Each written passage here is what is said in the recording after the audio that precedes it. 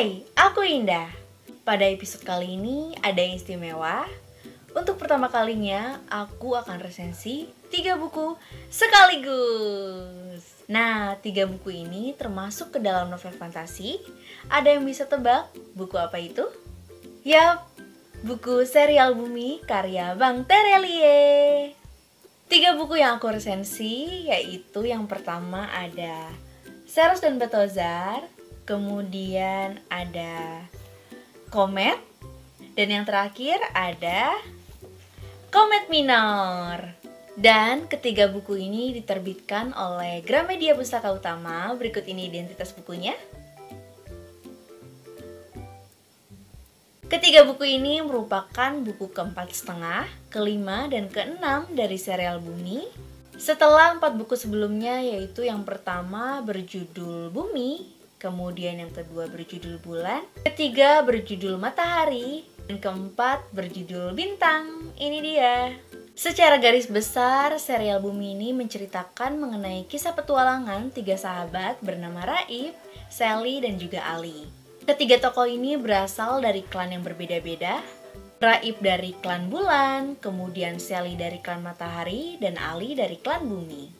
Serial Bumi juga menceritakan tentang teknologi mutakhir di masa kini dari berbagai klan dunia paralel tersebut. Ketiga tokoh tadi, Ra, Sally, dan juga Ali merupakan tokoh utama dalam serial Bumi. Yang pertama, Raib atau Ra, dalam buku ini ia memiliki karakter yang kuat Pantang menyerah, keras kepala, dan memiliki kekuatan bisa menghilang. Kemudian tokoh berikutnya ialah Sally. Ia memiliki karakter setia kawan, terkadang penakut, tapi bisa jadi sangat kuat. Kekuatannya bisa pulih berkali-kali lipat dari kekuatan sebelumnya. Nah, tokoh Sally ini memiliki kekuatan bisa mengeluarkan petir. Kemudian karakter berikutnya ialah Ali. Ali merupakan karakter favoritku dalam serial Bumi Ali ini memiliki karakter yang jenius, cerdas, dan tingkahnya menurutku sangat unik dan menghibur sekali. Ali pernah mengatakan ia sudah membaca melebihi dari siapa pun karena rasa ingin tahunya yang sangat tinggi. Sudah mulai kebayang dan penasaran dengan kisahnya seperti apa? Langsung aja kita mulai resensinya. Buku yang pertama yaitu Ceros dan Batozar. Buku ini merupakan urutan keempat setengah atau spin-off dari serial Bumi Awalnya dikisahkan tentang tiga sahabat, Ra, Sally, dan juga Ali yang mengikuti karya wisata seperti siswa-siswa sekolah lainnya. Kemudian tiba-tiba kembali berpetualang seperti keempat buku sebelumnya kalau kalian sudah membaca.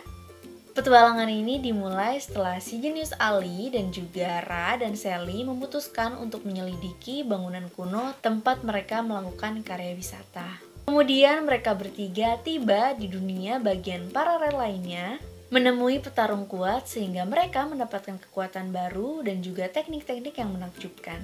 Siapa mereka yaitu Seros, Dibor Odur, dan juga Batozar, si penyintai hebat. Selanjutnya ialah buku Komet.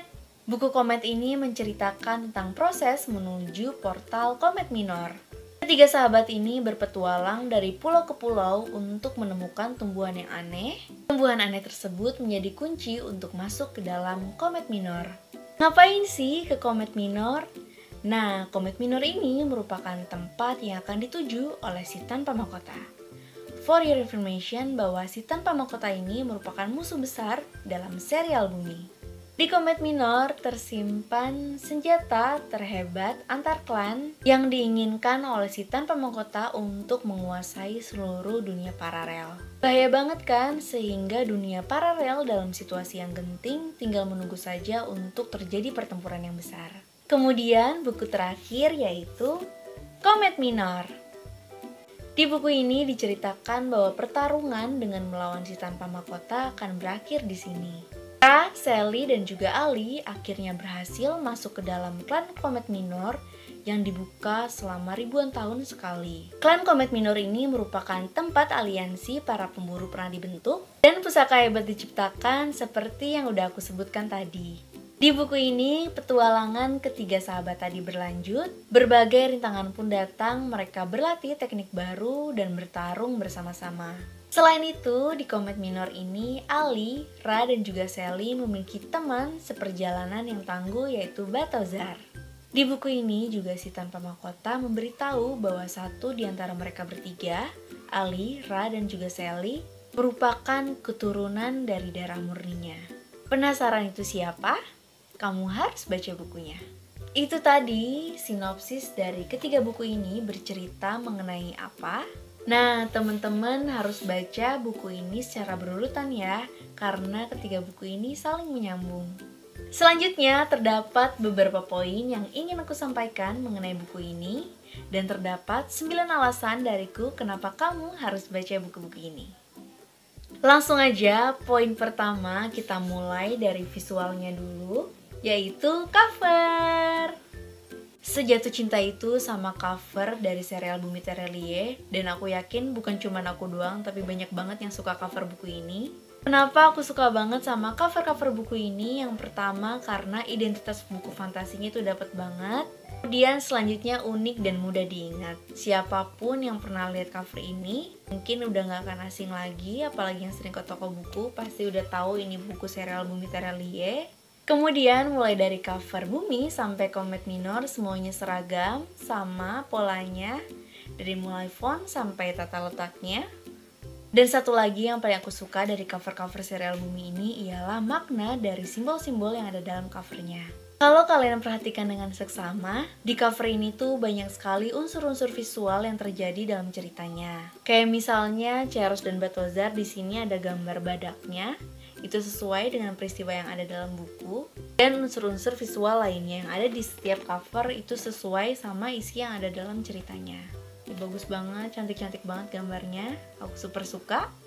Ikut bangga aja buku fantasi asal Indonesia itu rasa internasional Kemudian poin kedua, kenapa kalian harus baca buku-buku ini ialah karena Bang Tere bukan sembarang penulis. Dalam buku serial Bumi ini, Bang Tere banyak sekali menyisipkan trivia atau ilmu pengetahuan tentang fakta-fakta menarik yang dapat menambah wawasan kita. Aku termasuk pembaca yang suka sekali ketika membaca buku, bukan hanya ceritanya saja yang aku dapat, tapi ilmu pengetahuan yang aku dapatkan dari sebuah buku. Nah, di buku ini banyak sekali trivia-trivia yang dapat menambah wawasan pembaca.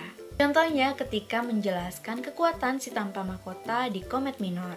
Bang Tere mengumpamakan si tanpa mahkota dengan semut Dracula. Faktanya ialah semut Dracula ini merupakan hewan yang tercepat, bisa menggerakkan rahangnya 5000 kali lebih cepat dari kedipan mata manusia.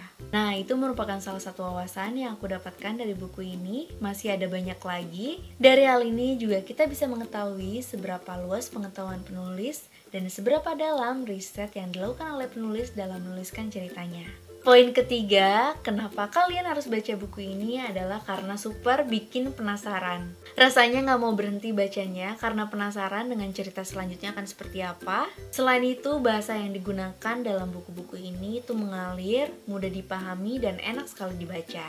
Poin keempat yaitu penuh dengan imajinasi.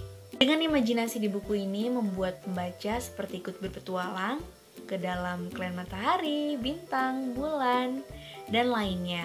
Meskipun imajinasi dan fantasi, tapi ceritanya terasa begitu real karena dijelaskan oleh teknologi mutakhir. Poin kelima yaitu keunikan dalam ceritanya. Keunikan tersebut dimulai dari nama-nama tokohnya, seperti Mala Tara Tanah Dua, Panglima Tok, Hana Tarahata, Ilo, Owu, dan tokoh jahatnya si tanpa mahkota. Selain nama, istilah tempatnya juga unik-unik. Misalnya penjara bayangan di bawah bayangan, ruangan lembah hijau. Bahkan di buku komet ada pulau yang bernama-nama hari seperti Pulau Hari Minggu, Pulau Hari Sabtu, Pulau Hari Rabu, Pulau Hari Kamis, dan hari-hari lainnya. Penulisnya benar-benar kreatif bisa memanfaatkan hal-hal yang sederhana yang berada di sekitar kita. Poin keenam, meskipun buku ini bersifat fantasi, tapi banyak sekali hal-hal yang relevan dengan kehidupan kita saat ini. Selain itu, fenomena yang lagi tren juga dimasukkan ke dalam ceritanya seperti Sally yang suka drama Korea. Jadi terdapat relevansi antara cerita dan juga kehidupan saat ini. Poin ketujuh, banyak banget quotes menarik dan dalam pesannya yang ada dalam buku ini. Beberapa di antaranya yang aku suka akan aku bacakan, seperti ini bunyinya. Kutipan yang pertama yang aku suka itu ada di halaman 231. buku komet minor, bunyinya seperti ini. Ingatlah selalu, akan selalu ada kabar baik setelah kabar buruk. Kemudian kutipan yang kedua berbunyi seperti ini. Ketika pertolongan yang aku butuhkan seperti enggan muncul, ternyata kekuatan ketulusan selalu berhasil mencungkil kuncinya di detik terakhir. Kutipan yang ketiga bunyinya seperti ini. Hanya karena kita tidak bisa memahaminya, bukan berarti itu tidak masuk akal atau sihir. Kita saja yang tidak paham. Kemudian kutipan terakhir halaman 230. Tidak masalah kita kalah satu dua pertarungan atau malah kalah berkali-kali. Tapi pastikan kitalah yang tetap berdiri tegak di akhir semua kisah. Menurutku kutipan-kutipannya itu bagus-bagus banget dan memiliki pesan yang mendalam. Kalian harus baca bukunya. Poin ke-8, kenapa kalian harus baca buku ini ialah berbagai emosi muncul dalam ceritanya. Mulai dari tegang, sedih, bersemangat, sampai lucu bikin ketawa itu ada di bukunya. Apalagi yang paling lucu itu ketika percakapan antara si tanpa mahkota dengan Batozar. Poin kesembilan atau terakhir, kenapa kalian harus baca buku ini ialah banyak sekali pesan moral yang dapat dipetik dari buku ini. Buku ini memiliki value yang sangat dalam, mulai dari persahabatan, pengorbanan, ketulusan, memaafkan, dan kebaikan karena sejatinya merupakan kekuatan terbesar dari dunia paralel. Itu dia tadi 9 alasan kenapa kamu harus baca ketiga buku ini. Sekian resensi ketiga buku ini dariku. Semoga videonya bermanfaat. Nah, komen di bawah dong kita diskusi mengenai buku serial Bumi Terelia ini. Sampai bertemu di video selanjutnya. Bye!